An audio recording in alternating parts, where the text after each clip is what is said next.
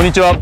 IBM ビッグブルークォーターバックの正本裕樹です。今回はクォーターバックとして最も重要なスキルであるフットワークをご紹介したいと常にボール投げるときは後ろ足主導でふ早くただ自分のリズムの中であまり下手が動きすぎないようにいきましょう肩の向きを常に、えー、同じ方向に向かせること、えー、一回ヒッチステップを踏んでゴッ